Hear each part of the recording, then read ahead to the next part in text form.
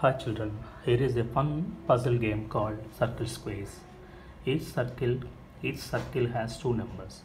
For each pair of circles, pair of circles, the sum of the two numbers is same.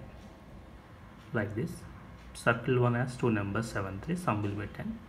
Circle 2 has two numbers 6 and 4, whose sum will be 10. But the circles are like magnets.